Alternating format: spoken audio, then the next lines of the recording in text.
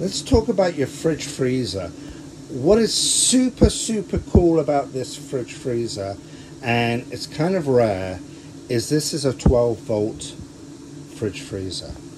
Um, so in the past, I've seen fridge freezers that are just like a household fridge and uh, they run off uh, household electric, which means you need an inverter, which means that you always need power running to the batteries. It's fine if you're uh, driving along because when you're driving, it constantly makes power and it's charging those batteries.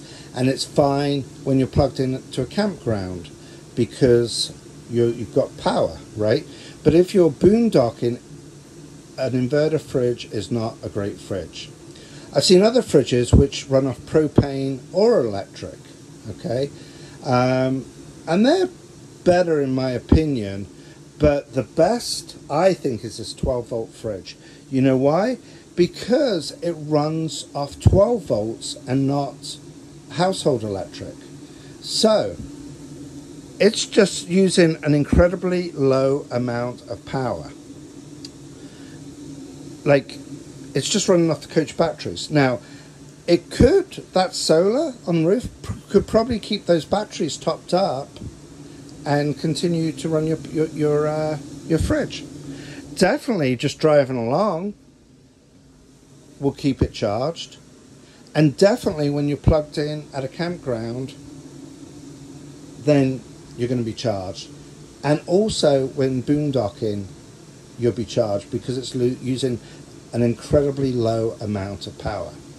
Now that said, it does need probably 12 to 14 hours to cool down before you can put any food in it. So here's some tips for you.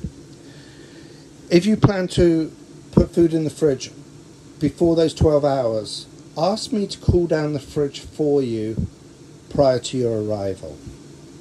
Or if you're getting the RV the day before because you want to get it organized, then no problem, you can do that yourselves. But do not put food in a fridge until it's properly cooled down. The reason why is the compressor has to work even harder because it not only now has to cool itself down, it now has to cool down your food as well. And I've heard many, many uh, cases where the fridge breaks.